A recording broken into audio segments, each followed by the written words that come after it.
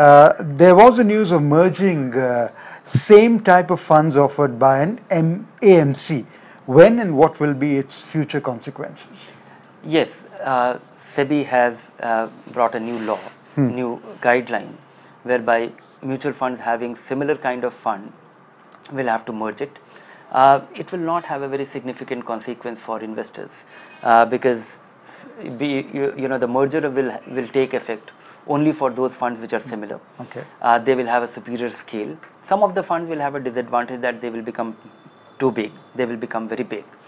Uh, but that apart, there is no tax consequence because last year's budget it provided for uh, you know it made a provision that if your fund is getting merged, then there will be no tax implication. It will be considered as your old investment. Okay. Earlier, the situation was that a fund merger amounted to redemption of your old investment and new investment being made into the merging fund.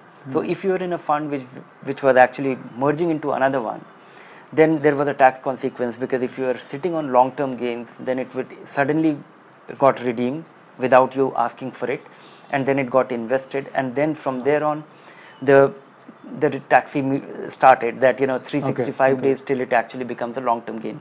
Now that problem is not there.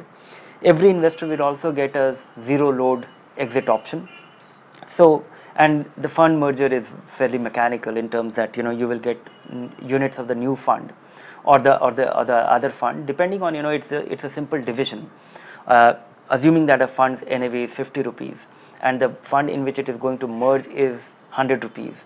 Then you will get two one u- you know uh, one unit for all the two that you're holding. So you know it will be a simple division of the two values and you'll get the allotment of uh, investors are not going to be no, it is it will not have a significant impact uh, Okay. because it the merger is going to be effective only for similar funds